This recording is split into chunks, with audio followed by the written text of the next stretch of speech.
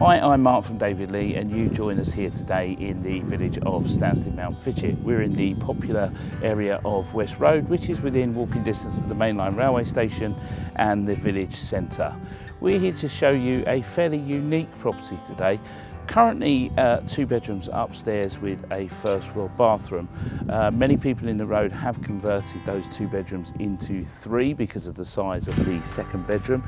It also has a room downstairs which is ensuite that could be used as a third or fourth bedroom. So potentially here we have anywhere between two and four bedrooms. It's got a nice lounge, off-road parking, kitchen and a good sized rear garden. Why don't you come through and have a look.